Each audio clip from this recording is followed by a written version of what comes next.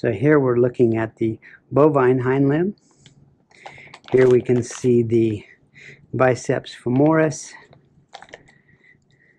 the semitendinosus, the gracilis, a little bit of the sartorius, semimembranosus, the adductor, and then here we see the quadriceps femoris with the vastus lateralis, vastus intermedius, vastus medialis, and rectus femoris muscles. Okay, if we come over to the lateral side, once again our biceps femoris here, overlying our gastrocnemius. Here we see coming out from under that biceps femoris is the common peroneal nerve. It's going to branch into a superficial branch which as we see here is going to come down and be our main supply to the dorsal aspect of the digits. Then we have deep branches coming in to innervate these muscles on the cranial aspect. Our tibial nerve is right here. Tibial, same as in the equine, is going to branch into a medial and lateral plantar and those are going to be responsible for the plantar aspect of the digits mostly. Muscles here. So remember in the equine, this more cranial muscle was the long digital extensor, but in the bovine, it's the peroneus tertius. So it's actually a muscle in the bovine. Okay. We can see here the cranial tibial sliding under here. If we reflect this this way, then we're going to see the, the long and the medial digital extensor muscles. We need to make sure by tracing out the tendons which is which.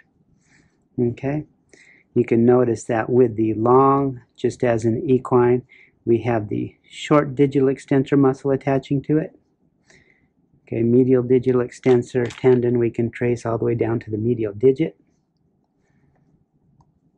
And here, once again, is a little bit of that cranial tibial muscle. Now, unlike the horse, the, the bovine also has the peroneus longus, just like in the dog, very triangular shaped, okay, coming down to here. Here we have our lateral digital extensor. Its tendon comes down here, and then we can trace it all down to the lateral digit.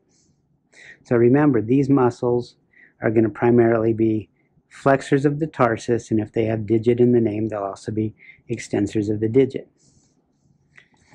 Then we have deep digital flexor muscle here. Just as in the horse, that superficial digital flexor is kind of buried Okay, we don't see that twisting tendon. It's not quite dissected out here, but we still have that same twisting of the tendons so that the superficial comes more superficially. But in the bovine, we see that there's actually two heads to the superficial digital flexor muscle. Okay, here we see more of the deep digital flexor, and this muscle coming across here is the popliteus. Okay. Circulation is going to be similar. We'll have the femoral artery coming down, giving off the distal caudal femoral, and then becoming the popliteal artery. Popliteal artery will branch into a cranial and caudal tibial. Cranial tibial will be coming along here. That's our main supply. Cranial tibial, just as in the horse and the dog, when it gets to the tarsus, becomes the dorsal pedal. It's going to give off a perforating tarsal branch and then continue in this groove between the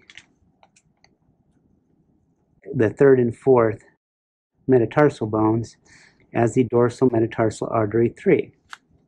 Okay. As it gets more distally down here, it'll give off a perforating metatarsal artery, continue as the dorsal common digital artery 3. It's going to join the plantar common digital artery 3. and then they form what's called an interdigital artery. From that interdigital artery will come the axial digital artery 3 and 4, which will go to main supply to each of the digits, very similar to the front limb. Okay, this hind limb, this plantar digital artery 3 is primarily coming from the saphenous artery. So here's our superficial digital flexor tendon, our deep digital flexor tendon. We're going to see, just as in the front limb, portions coming off our interosseous muscle and joining that there. Okay, so basically that distal hind limb is very similar.